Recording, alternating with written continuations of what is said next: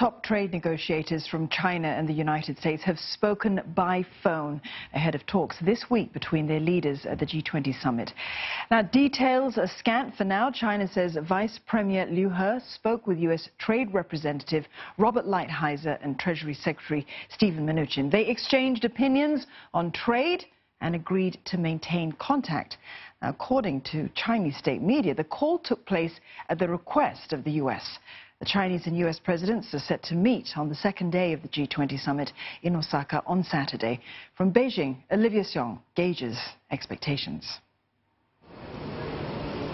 Half a year after their face-to-face -face meeting in Argentina led to a trade war truce, Chinese President Xi Jinping and his U.S. counterpart Donald Trump are set to meet again at the G20 summit in Japan later this week.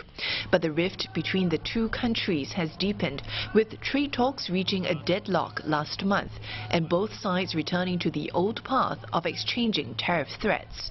And tensions went beyond trade. Chinese telecom giant Huawei is now fighting fighting for its survival after the Trump administration moved to cut off its access to key U.S. technology through a targeted export ban. The move has stoked nationalist sentiment in China. We have seen more of a rising nationalism, although it's more of a controlled uh, nationalism uh, because China doesn't want uh, this to get out of control. Um, but for Xi to make more concession, uh, it cannot sell this domestically. One issue that Mr. Xi will not toy with in his discussion with President Trump is the political crisis in Hong Kong. U.S. Secretary of State Mike Pompeo had recently said that President Trump would raise the issue of Hong Kong human rights with his Chinese counterpart.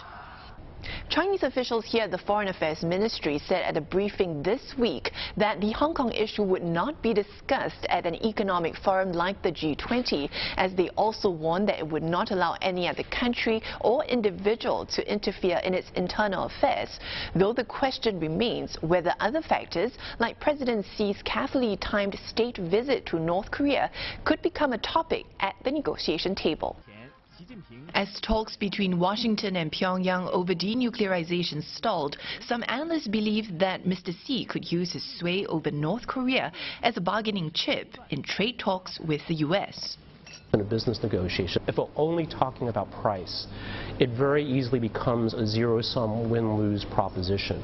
But if we can bring more topics to the table, that creates more opportunities for a creative solution that is uh, a beneficial outcome for everybody involved. Still, any additional talking points may only make the planned meeting less unpleasant. The nature of the relation has already changed. China is the competitor, it's a revisionist, and the U.S. certainly doesn't want China to have this transformative 5G technology. Uh, the decoupling is happening. Against such a backdrop, the best outcome the global community could hope for is probably just for the status quo to remain.